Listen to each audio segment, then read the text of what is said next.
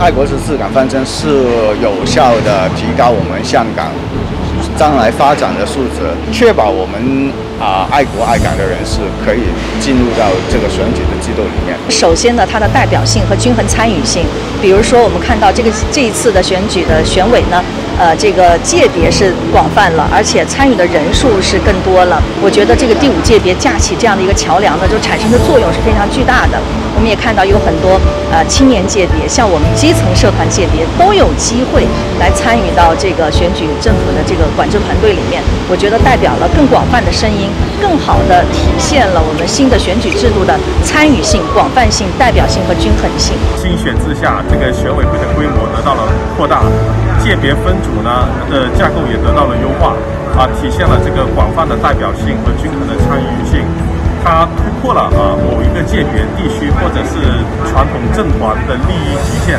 啊，使各阶层、各界别。啊，和多方面的这种利益呢，声音呢，都能在香港的管制架构之中得到反映啊，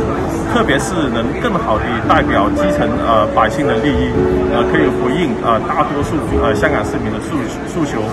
扩大了整个的规模，啊，等于就是我们的参与的呃界别更加的就是均衡啊，而且人数由原来的一千二百人。啊，增加到一千五百人，啊，这样就是更加体现这个均衡参与、广泛代表的一个作用。那这个作用呢，可以更加稳定香港的一个发展，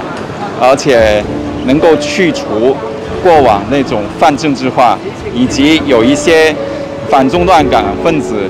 在这个制度里面来兴风作浪，这种情况已经一去不复返。多人選舉係一個好事嚟㗎，啊咁就我覺得呢冇問題啊，我覺得呢個係好事，